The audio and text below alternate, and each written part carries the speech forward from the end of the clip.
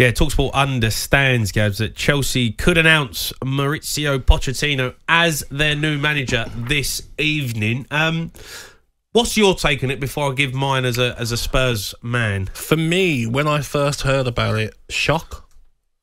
Only because you know Spurs. We've been talking about for how many weeks? Go and get Poch. Go and get Poch. Go Yeah, and get Poch. Obviously, something's happened there with Daniel Levy. Well, he hasn't going to got Pochettino win for Spurs. But then Chelsea, you hear about Nagelsmann, you hear about Enrique, and then out of nowhere, Pochettino. Yeah. And sometimes managers really impress owners in their interviews.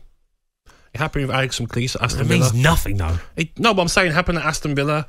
Birmingham City got relegated with Alex McLeish, and a month later, he's Aston Villa manager. Imagine my shock. But apparently, Randy Lerner said it was an amazing interview. Yeah. This, this is sometimes how football works. Has Pochettino put an outstanding interview to Todd Boehly? Do you think it'll work? I don't think it'll work now. Why? I think we could. I just think he went to PSG. You know, won the league. Yes, didn't win the Champions League at Spurs. Yes, he got them playing good football. Got him into the Champions League. Didn't win anything with Spurs. I think there's so much wrong with this Chelsea squad, mate. He's got big decisions. Lukaku, does he come back and play? Mason Mount, new deal. Who does he get rid of? Pulisic to Ziyech. Yeah.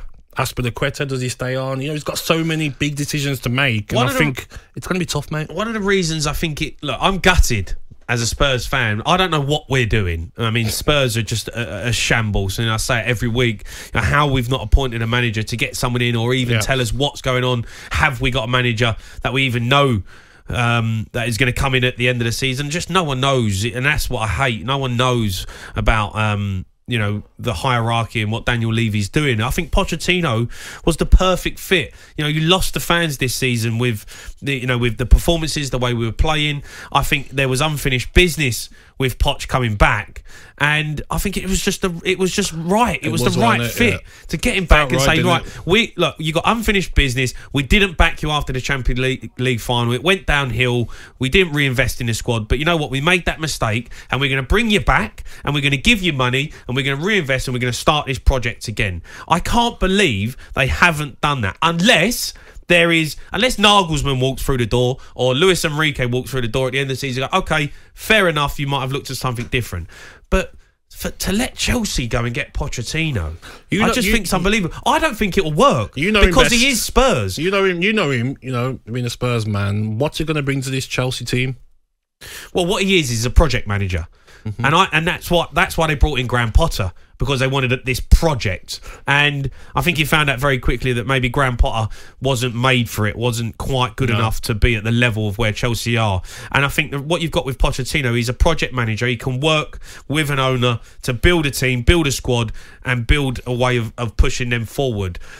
The reason I don't think it will work is because Chelsea are still in the mindset of win at all costs. If you don't win, you're out. Like what they did with Roman Abramovich. You know, they don't want a project. They want to win because they've been so used to winning for so many years. So for them all of a sudden to now say, right, we're going to bring in Pochettino and it's going to have this new project going forward.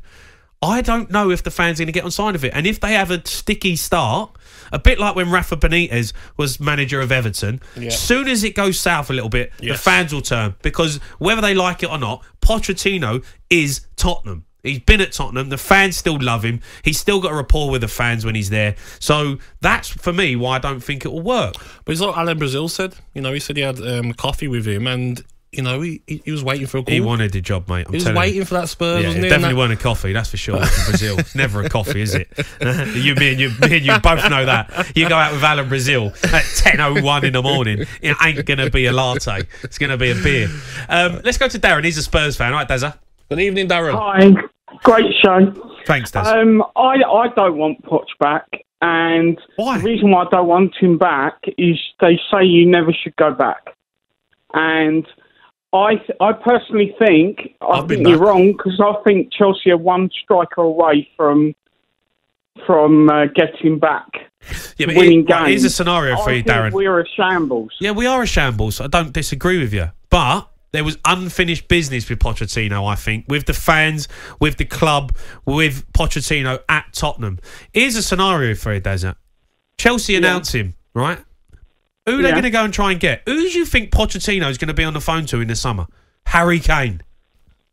Yeah, but But the point is, the point the point is about yeah, they're going to go and get Harry. Harry Kane's got gone unless he sees out his contract.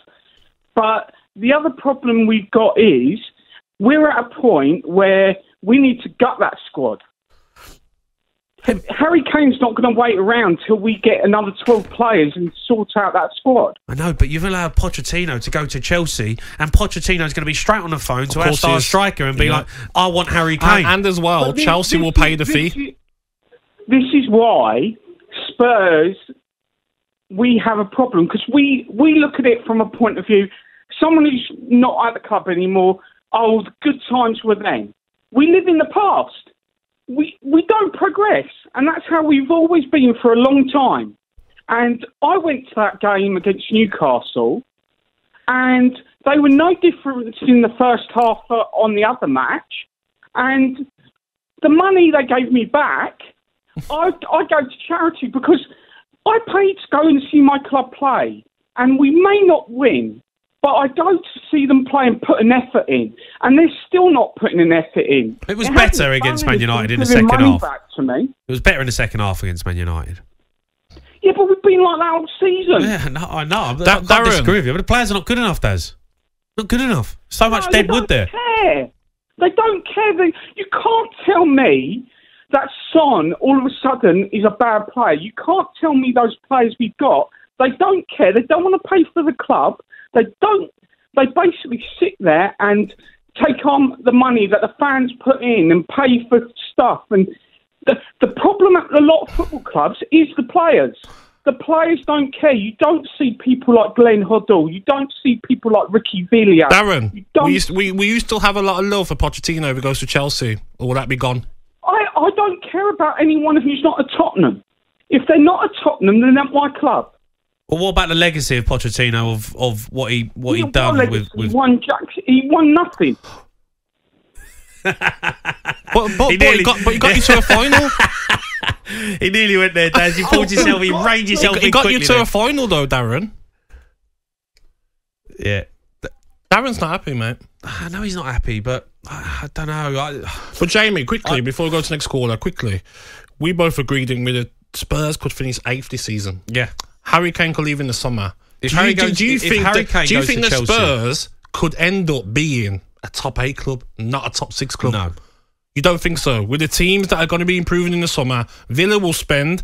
Brighton will keep hold of probably two of their top three Yeah, players. what is a top six club? What does that even mean, Gabs? What does that mean? Means to finish between one and six, mate. Yeah, but but what does that mean, really? Who cares? We've been talking about it for years. Top know, six but- Spurs, top six But, club. yeah, but everyone's improved. Look at That's what I'm saying. Everyone's spending more money. You know, it's not a top. This is what not I'm a top saying. six anymore this is what because saying. Newcastle are a billionaire course. football club But now. if- if- Aston Villa have got loads course, of money. That's so- what I'm saying. So that if Spurs do lose Harry Kane in the summer, will they struggle to get into the top Well, six it's going to be a fight. Yeah, I, I think without Harry I'm Kane, being realistic. I'm not trying I to. think like- Harry if Harry Kane leaves in the summer, um, I'm not convinced that we'll invest the money wisely because every sign in our recruitment Jan- we bring Janssen. in is is just is is rubbish. You know, so Yeah. I think as soon as Harry Kane does leave, I think we could have a season where we're like mate. Chelsea. I think we'll be like Chelsea next season. yeah. I really do. We're, we're being a, we're being big trouble. Let's go to John. He's a Spurs fan. All right, John. Good evening, John. Hi, guys, how are you? You right, Yeah, mate? yeah, good, John. Look, we've been talking about Pochettino. He's um, Talksport understands he could be announced as Chelsea manager. How do you feel about that? Look, I, I, I enjoyed the time with Poch as manager. He also frustrated me. He made substitutions too late when it was glaringly obvious they were needed. And I, I feel he underachieved. Like, if you look at the back four he had, Danny Rose, Vertonghen, Alderweireld were playing for the number one team in the world, ranked at that time in Belgium. Lloris had just won the World Cup, and we had Trippier and Walker. He had Eriksen. He, Kane fell into his lap, and that was a great side. Like if you looked at that side, that was Yeah, it was a top brilliant. side. Yeah, it was a it was a top it was side. a top. It was a top side. So he, so there was, and he wasn't the one buying all those players. Some of them were bought for him. Some of them, you know, there was Comalone. There was other people around doing all that. But what I liked about Poch was he loved the club. He didn't moan about the club. He didn't moan about the players. He worked with what he had.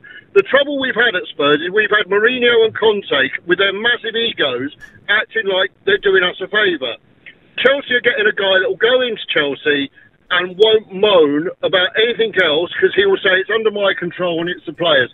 The one thing, the one thing that petrifies me about Poch going to Chelsea, Kane's family, from what I've heard, in a very roundabout way, don't want to move up north. Yeah, They're very, yeah.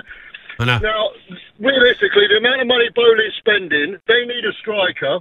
We've got the best striker in the world. Yeah, with a year left on his contract. Uh, I, yeah, look, I think one of John. three. John, I've got a horrible feeling, John. I really have, and I'm and I'm going to hate it. I think I think Bowley is bringing in Pochettino to get Harry Kane. You think so? Yeah, I think they're going to go after him big time in the summer. And as well, Jamie, like I'm, I'm not sure Daniel Levy's the sort of guy that will want to lose Harry Kane on a free transfer. When you get maybe 80 million from him in the summer, I think that they will sell him. Here's a question for Spurs fans, and I, you can have your say on this. That if Harry Kane did sign for Chelsea in the summer, would his legacy be tarnished? No, no way. Mate, it's, that's a bad move, mate. It's bad. That is that's a No. bit big rivals, Chelsea. It's big rivalry. But he has to think Huge about himself rivalry. now, mate. He's got to think about winning trophies. They're, they're at 12th in the table with 39 points. We're talking about win trophies. They're going to Miles be off closer it. to winning a trophy than Spurs. No, they're not. They're not. But would you, as forget about a Spurs fan, as a football fan, what would you think of Harry Kane if he signed a new deal at Spurs? What would that say about him? I would say that he loves the club and he lacks Doesn't want to ambi- win trophies. and he lacks am- a little bit of ambition. That's what You I would say say. when he lacks ambition. Yeah, I would.